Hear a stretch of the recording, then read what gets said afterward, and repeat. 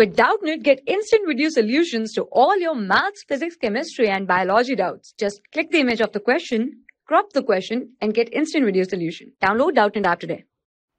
Hello everyone, the given question is calculate volume occupied by 2.2 gram of CO2 at STP. So what is STP? STP is standard temperature pressure.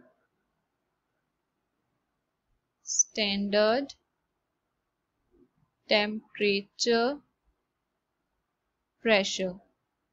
Now at STP conditions we take temperature 273 Kelvin and pressure is 1 atmosphere.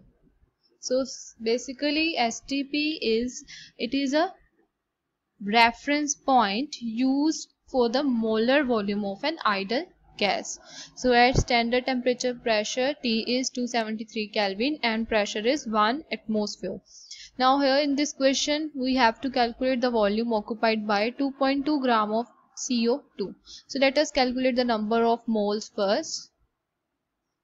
We have a formula which is number of moles is equals to given mass divided by molar mass. So given mass is 2.2. Let us find the molar mass of CO2. Molar mass of carbon dioxide it is the atomic mass of carbon is 12 plus of oxygen is 16 here we have two oxygen atoms so we will multiply this by 2 so we get 12 plus 32 which is 44 grams.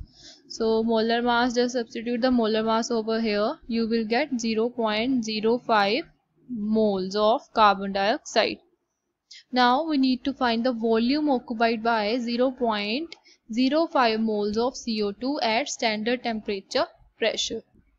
So at standard temperature pressure we have a formula which is number of moles is equals to volume upon 22.4 therefore volume is equals to number of moles into 22.4 right? Which is 0.05 into 22.4 therefore we get 1.12 liter as answer so i hope this question is clear thank you For class 6 to 12, IIT JEE and NEET level.